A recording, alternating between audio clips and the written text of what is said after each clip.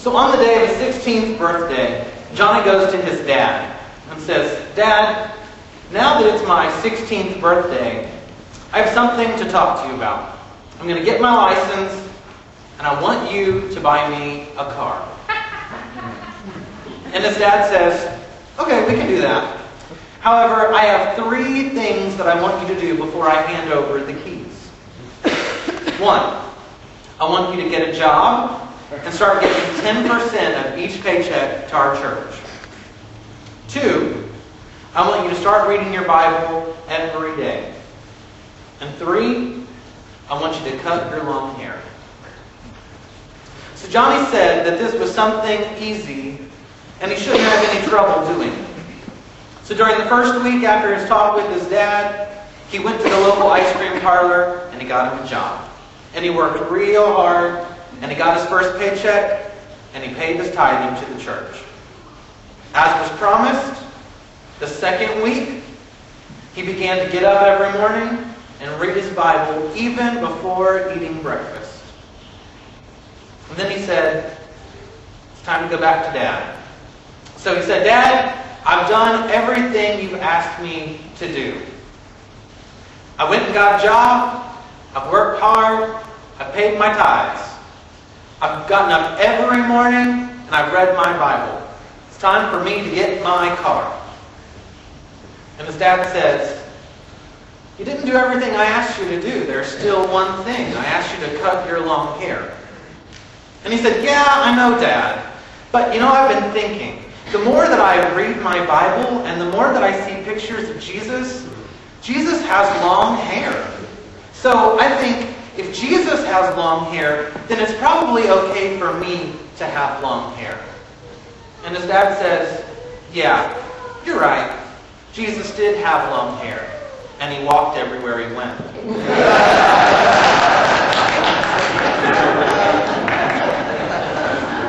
Johnny's story is very similar to that that we hear in our gospel lesson this morning. The story of the prodigal son, or the lost son, as it has also been deemed. And this is one of the most famous stories found in Scripture and in Jesus' teachings. This is a story that has been told over and over and over in numerous fashions and genres. And in, in preparation for today, I found that the story of the prodigal has been depicted numerous times in medieval art, in paintings and sculptures.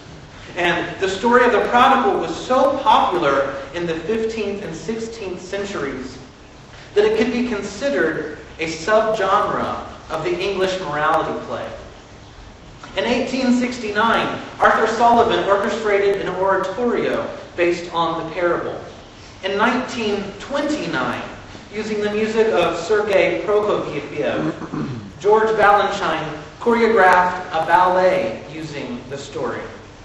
The Rolling Stones recorded a song called Prodigal Son, and Kid Rock released a different song with the same title.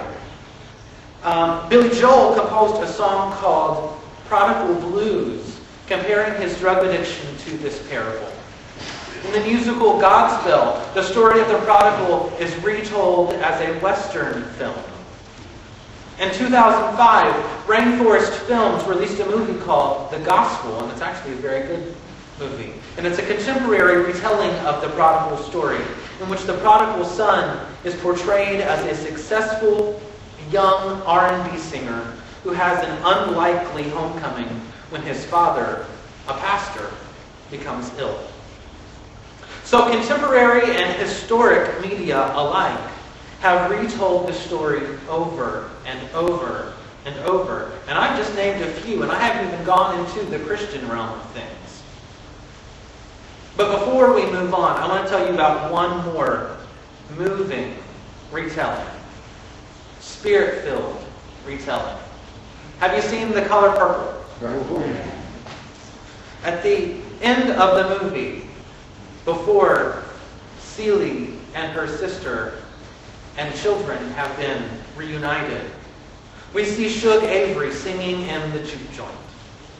Now, Shug grew up in the church, and she left her life of salvation and holiness to sing that worldly music in those worldly, sin-infested, alcoholic establishments.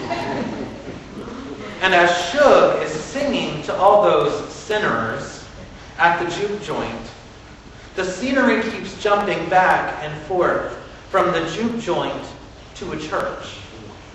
And in that church, her dad is currently preaching and preparing the choir to get ready for the altar call.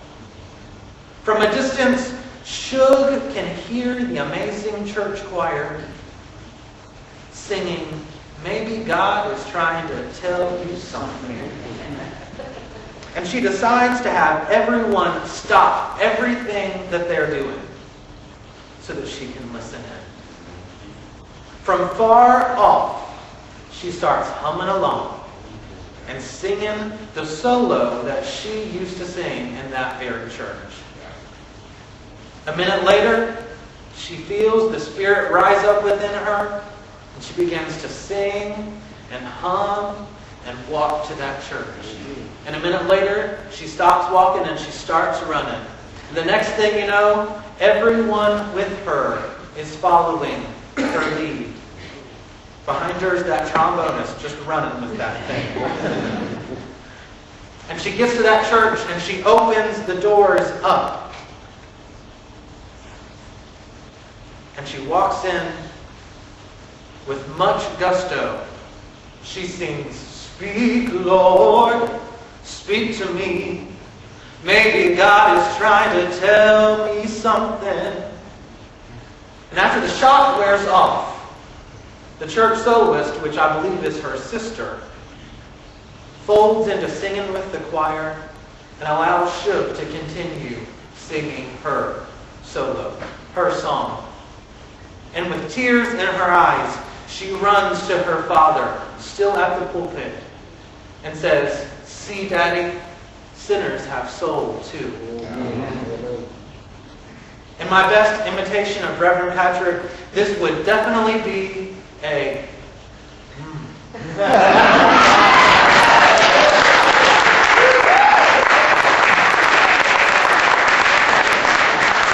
just a, but a. We have a meeting on Monday. Office is closed on Monday. In my opinion, this is the best to date retelling of this prodigal story. Shug finds her renewal through the passion and the spirit of that song that can't do anything but be expressed. For many of us, especially me, with evangelical backgrounds, this story of the prodigal is one that was reiterated from pulpits time after time after time. The sermon had ended, and the invitation was given for all to come forward for a better understanding of Christ. Or as my grandmother and many others would say, to ask Jesus into your heart. The preacher stands at the altar and waits for everyone to respond. Didn't matter if you'd been there the week before, you could still respond and come on up. And she would say, Children, come home. Stop running. The Father is here, waiting with open arms to welcome you and to celebrate your coming. And I'm sure that many of you know that speech very well. You know, the underlying theme to this parable is forgiveness. And there's